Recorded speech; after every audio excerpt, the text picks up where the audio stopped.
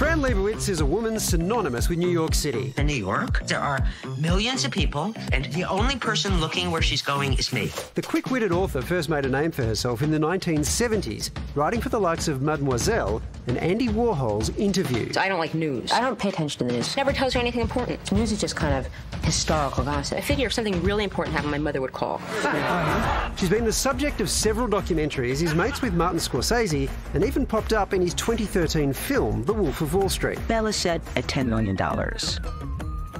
Now, the famously offline author is in Australia for a good old-fashioned Q&A. Hey, Fran, I actually never heard of you before. That's really a good way to break the ice. Fran Lebowitz, welcome to the project. Thank you. You are so synonymous with New York that I figure we just have to start there.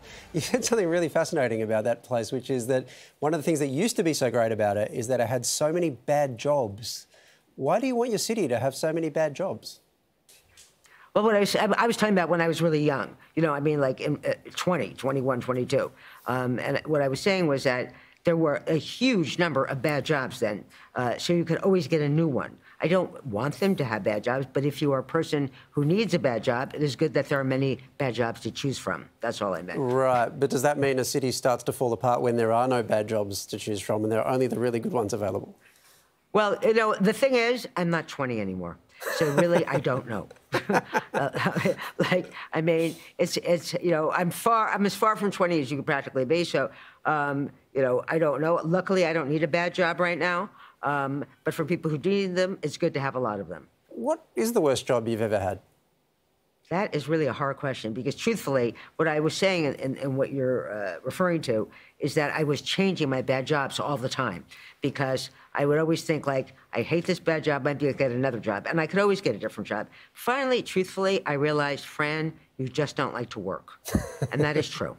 Fran, you're lazy. You hate to work. Yep. I hate any job. You, you seem to have this feeling that too many rich people is a bad thing for a city. Why, why do you think that is? It is. It's a terrible thing for any city, and not just New York. But I didn't say too many. But a city made up of rich people is terrible. Of course, first of all, it's boring, and there are always rich people in New York City.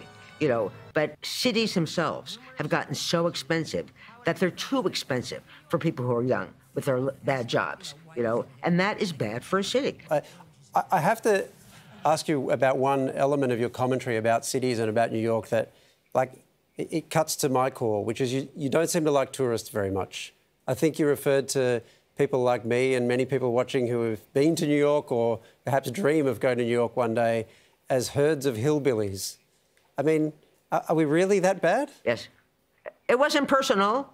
Um, it wasn't personal. I don't know you. Um, I was, you know, I was referring to, you know, the extreme, you know, uh, you know, luring of tourists.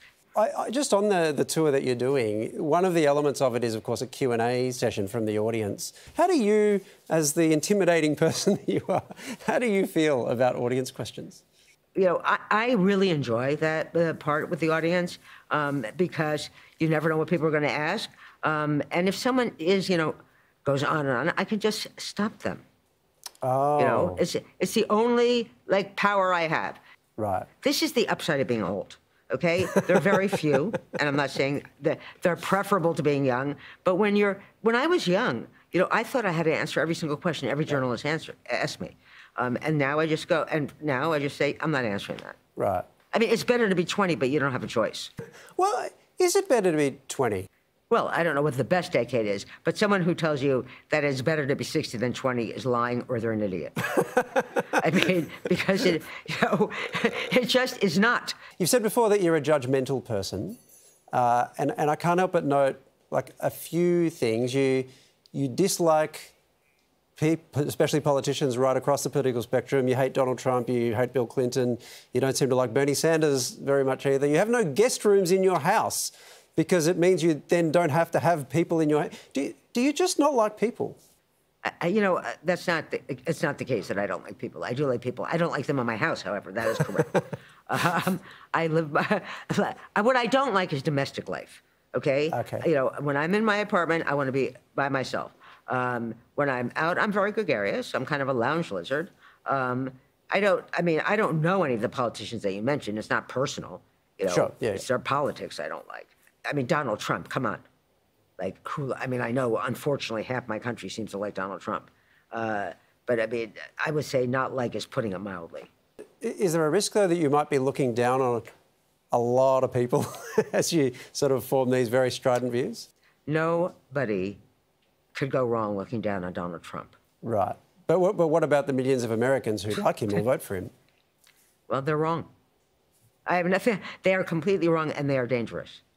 Okay, I mean, you know, there's a difference between like when Clinton was a president. Okay, he did many things I don't like. You know, he, uh, but I never thought he's going to be the end of Western democracy.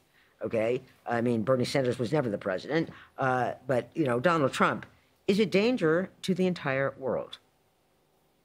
And I don't care the people that like him. You know, the reason they like him, truthfully, as far as I could tell, is because he he enables them to express their racism, which is apparently so pleasurable they don't care what else he does. I look forward to someone getting up at your shows at the Q&A and introducing themselves as a Trump voter. That would be something to behold. You know, I don't think that's going to happen. No, I suspect that won't happen either. Welcome to Australia. I hope you have a great time and many stimulating conversations. Uh, you can hear more from Fran at one of her dates in Sydney, Melbourne, Brisbane or Perth this week. All the ticketing info is on our website. In the meantime, Fran, it has been a pleasure. Thanks so much for speaking to us. Thank you.